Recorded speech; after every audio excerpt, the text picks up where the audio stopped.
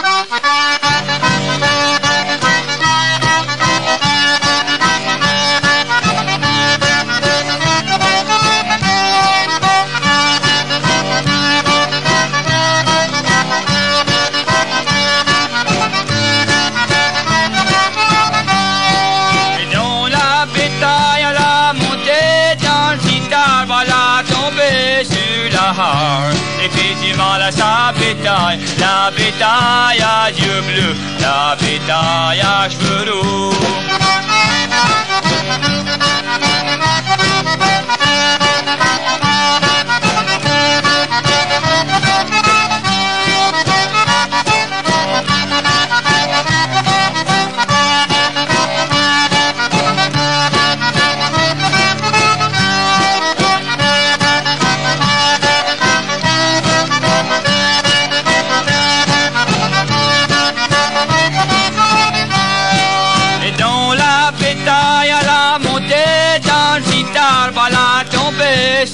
Sur la hare. Effectivement, là, sa bétail, sa bétail à yeux bleus, sa à cheveux.